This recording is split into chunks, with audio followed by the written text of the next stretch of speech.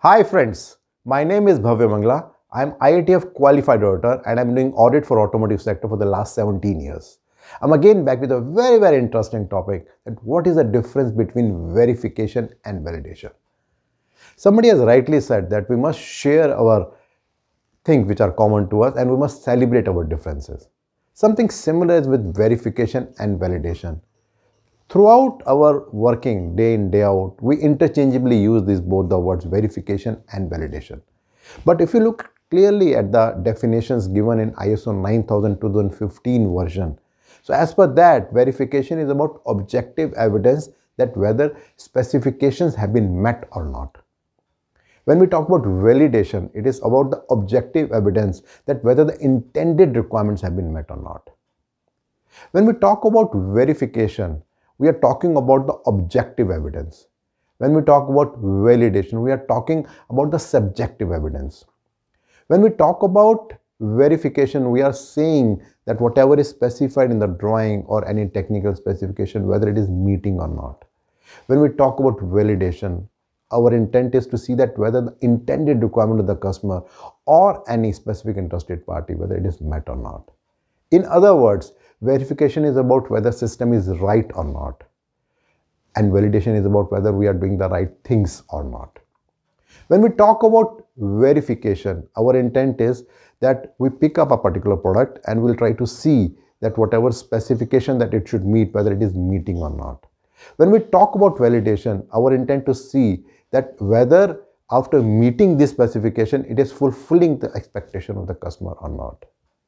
If we talk about an organization as per ISO 9001 as well as IATF 16949, starting from incoming inspection till dispatch, you will find there are many clauses where we are using the word verification and validation, but they have got their distinct meaning and we must understand.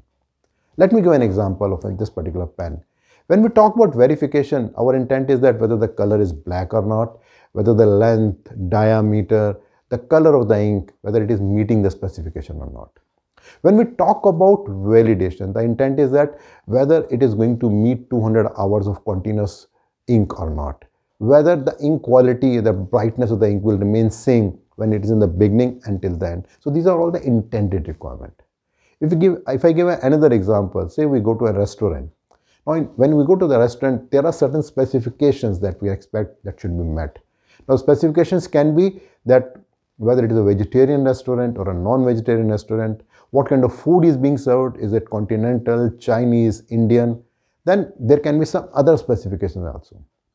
But when we talk about validation, the intent will be that whether the food quality was good, whether the ambience was good, whether the kind of flavor that we were expecting that was good or not. So these are all the intended requirement which becomes a part of validation. So if I do a summary, verification is about meeting the specifications and validation is about meeting the intended requirement of the customer. So there can be a possibility that when we are verifying a product, it may be okay but it may fail as per the intended requirement of the customer. My next video will be with respect to the difference between effectiveness and efficiency indicators. Regularly, I am getting a lot of feedback from your side and it is helping me to understand your expectations. So please continue to do that.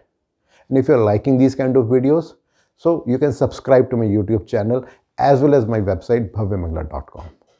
And in case you want to understand about this video a little bit more in detail, so in the description you will find a blog wherein you will find everything in much more detail. Thank you very much.